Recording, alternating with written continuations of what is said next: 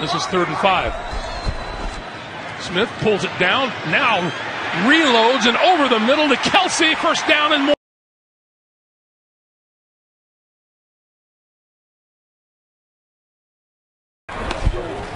He'll try it again. First down yardage to the 45.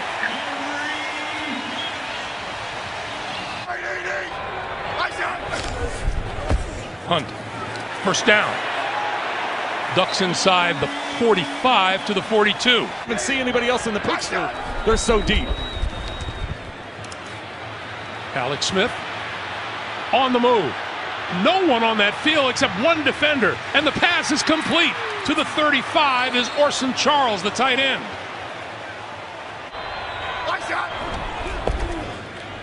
Smith throwing this side complete, first down and more. Kareem Hunt down the sideline, inside the 15 yard line. One yards. Impressive back to back season. Third and two.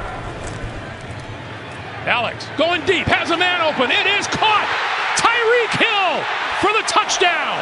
Rivers with time over the middle. He's got his man, and Gordon, and Gordon has running room. Gordon, 45, midfield. And down just shy of the 40 yard line. They're going to mark him inside the 40 yard line. Melvin Gordon. Ingram's going to come out, or he's going to come out of the back. Gordon is and, and work his way across. Watch, he checks to see if he has to block right away. Then Kevin Pierre-Louis is in coverage. He doesn't see him release right away, so Pierre Lewis decides he sees that drag by the receiver coming underneath, and then he's too late as Gordon sneaks out of the backfield. What a way to get started offensively here in the second half. Ekeler in the backfield. Rivers going for the end zone. Got a man. Touchdown.